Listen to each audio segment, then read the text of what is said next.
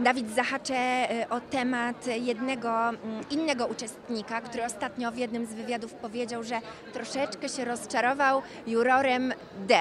Dawidem. Powiedział to Tadeusz. E, Jak ty na to w ogóle reagujesz, na takie słowa? E, vice versa.